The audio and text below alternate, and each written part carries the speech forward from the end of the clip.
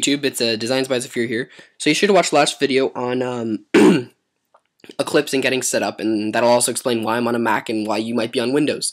Um, we're going to be using Eclipse to use this. Uh, I'm going to be using it from now on just because I can't be bothered to go back into Windows and install Edit Plus all over again because I deleted my partitions.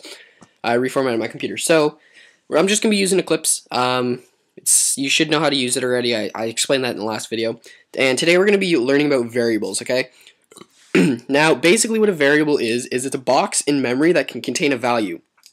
So if you remember back to math class, um, when you had um, when you had all those those formulas to memorize, x plus y times 4, pi r squared, all that crap, um, those all use variables, which would be the x and the y, all that stuff. Now, variables in are, are, pretty much the same thing in Java. Um, you don't name them x and y because it's very vague and it just kind of um, doesn't really mean anything to us. So we don't really like it's, it's I don't know. It's just kind of oblique or something. So it's we'll name them other things, but we do have variables nonetheless, and there are many different types of well, not many. There's a couple different types of variables. Now think of a variable like a box, okay? And there's each different box has a different size. Okay, hold on. Let me open up my text edit here. I'm just to be showing you the different variables right here. So we, we do have byte, we have short, short, we have int, and we have long, okay? And these are our variables for real numbers. Let me just make this bigger. Oh, I didn't know I could do that. Yay! That should be big enough for you. So, we do have these variables. Um, this is also, also, just so you guys know, this is in, it should be HD quality, so you can just, uh, on Windows I was having some trouble with the quality and stuff, but I'm on Mac now, so it's fine by me. Uh, so, quality should be HD, so you can make this full screen if you really feel like it. Um, you can make it as big as you want. Or, I don't know about YouTube how big it can go, but you get it, it's 720p, I believe, maybe, maybe 10, 1080, I'm not sure about the 1080, but 720 for sure. So anyways, back to variables. So we have these four different types of variables for displaying numbers, okay? Now these numbers do not contain decimals, there's different variables for decimals. But these numbers are um, pretty, these are pretty straightforward. They each can hold different variables. Now, if, if you know um, about uh, computer hardware at all, you know that you have a byte, and a byte is, is, um, is just, it's kind of like, um, it's just a, a, set of it's a set of eight numbers that, that can be held. It's a set of ones and zeros of eight that can be held. That's that's what a byte is. And there are many, many, many, many, many different bytes. Now, but a byte in variables, a byte can hold from negative 128 to 128. Now, what this means is it can go, it can range. It that that's its range. Okay, it only ranges from negative 128 to 128. And I should probably use the equal sign instead. A short is kind of like a byte, but it can hold negative 32,000, what is it, 268, I believe, 2, and then to 32,268. Hold on a second. No, go. Rats, where's that program? You. Why aren't you doing it? Ah! No, there we go. Ha ha ha. Anyways, so that, that, that's its range, uh, the short. The int's range is the one that we're going to be using the most because it is very large and we're probably never going to fill it up. But it's just to safeguard yourself, okay? We're not too concerned about memory as they used to be. That's why we have all these, is because, like, when they first started programming and all that, they were concerned about memory because they didn't have as much memory as we do now. But now we have tons of memory and it doesn't really matter. So we're mostly going to be using int, which is, oh, um, it's it's around two billion. The actual figure. Oh, shut up. New Skype for the win, by the way. Um, it the ints display around two billion. Okay, just just so you actually know, from negative two billion to positive two billion, something like that. And the long is just so ridiculously, ridiculously, absurdly large that we don't even need to worry about it. Like I, I don't even know what it is to tell you the truth. It, I just know it is freaking huge. But ints are it's it's too much. Ints are probably the they are the uh, safeguarded value that we're going to be using. Then we also have stuff for decimals, because remember, these don't store decimals. So we need to find a way to store decimals. Well, by that we can use float, and we can use double. Okay? Now these values, I'm not too sure once again, but to be most to be the precise as precise as we can, we're going to use doubles. Okay? Just because doubles um, they're not they are ridiculously absurd again but it's kind of like the int how how 2 billion is a hell of a lot larger than this. It's kind of the same with this. Float is large but double is larger and we want to be as exact as we can in well i want to say math but yes in math. You want to be exact as you can. So we're going to be using double and ints okay? Now think of all these like boxes okay? Now think of them as different size boxes so this could be a a two by two size box. This is a three by three, four by four, five by five. Okay. Now you, you can't fit a five by five box into a four by four. So you're gonna have to do something to fit it in, and what that is is called casting. Okay, and I'll explain that later. But that is the concept beside, behind casting. We want to make this fit in, so we're gonna make it fit in. That's basically what casting is, and I might explain that in a, in a separate tutorial just for itself. But anyway, so now that we know that we have these variables, we're going to use int and double, okay? And we're just going to create a program using int first. Because double, well, well, we'd have to cast, and I'll show you that in the next one. So, we're just going to make a new Java program, okay? We're going to call this uh, variable. Oh, I spelled wrong. Variables. Okay. And then in variables, we are going to create a class, and we're going to call this class variables. Sure. Uh, okay, so now we got this class. I'm going to create, my, I'm just going to do this right away. Uh, swing.joption. Just so I can get that in there without actually, um, just so I don't have to th think about it later, really. So now we're going to have our main method. So we got to write our main method. Now, if you remember, it's public, static, void, ooh, main, and then string arguments. Oh, what the heck? Okay, so there's there's our main method. So this is what our main method looks like. Um, I'll explain methods and instance variables later on. Probably next lesson I'll explain them in depth. But um, this is just a method right here. That's all you need to know. It's a method. So in our method, we're going to declare a an, um, a variable, and we're going to declare var. Stop jumping! Holy crap! No, no, no! I'm sorry. Hold on, hold on, hold on. This this cannot open. This is gonna. Okay, thanks. That's that. That would slow this computer down like a shitload. So anyways, as you see, we have we're to be using ints. So we're to create a an we're to create a simple program, uh, a calculator, kind of like a calculator. We're to create a um, an equation, okay, for finding the area of a rectangle. There we go. That's what we're doing right now.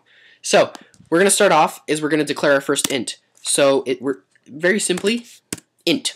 That's how you declare an int. And then we're going to say int, and we're going to call this length because you need length length length times width to equal height or to equal the area. Length times width is the area.